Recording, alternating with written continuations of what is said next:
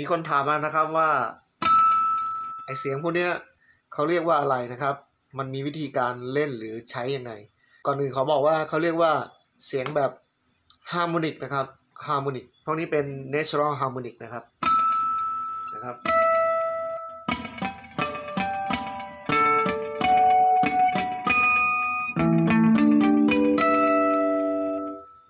harmonic มันอยู่ตรงไหนบ้างนะครับจำง่ายๆก็คือ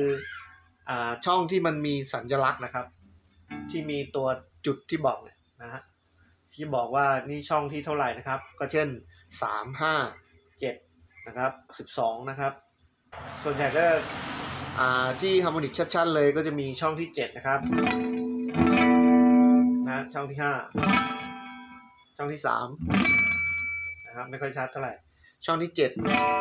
ที่ชัดที่สุดก็จะเป็นช่อง 12 นะครับ ครับ เป็นเสียงธรรมชาติของ harmonic นั่นเอง harmonic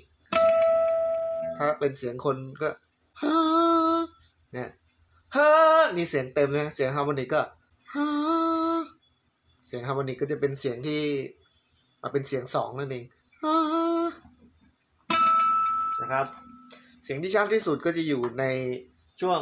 12 ช่องนะครับ เช่น E ใช่ไหมตรงนี้นะครับสุดเลย สายเปล่ากับ E ช่องที่ 12 แล้วก็ไปที่ 24 เลยนะครับนะฮะตรงนี้ก็ประมาณช่องเฟดที่ 24 นะครับ อันนี้คือ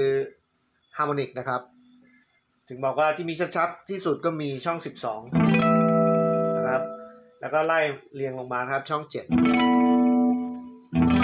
ช่อง5ช่อง3นะครับนะครับ ไม่ค่อยชัดเท่าไหร่ช่อง5ชัดนะครับ ช่อง7ช่อง7ชัดมาก ช่อง12ชัดที่สุด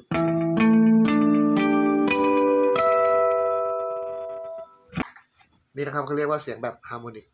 วิธีการสร้างฮาร์โมนิกก็โดยการนะครับ เราแตะสายไปเบาๆนะครับ แตะ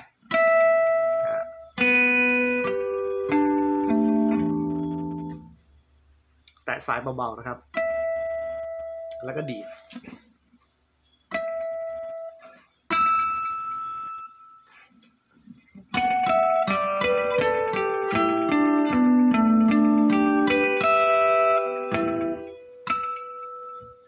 นะครับ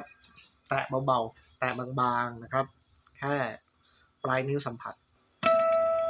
แค่ปลายนิ้วสัมผัสนะครับ แล้วก็ดีดเบาๆนะครับ ให้ฝึกจากช่อง 12 ก่อนนะครับ แตะไปเบาๆนะครับ บางๆ พอดีปั๊บก็ยกขึ้นเลยนะครับพอดีปั๊บก็ยกนิ้วขึ้นเลยนะครับ ถ้าเราค้างมันจะบอด จะเป็นอย่างนี้นะแต่ว่า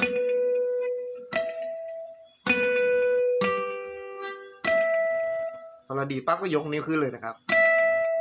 อย่าลืมนะครับแค่สัมผัสนะครับ ที่ใช้ปลายนิ้วสัมผัสสายเฉยๆไปลองดูนะครับ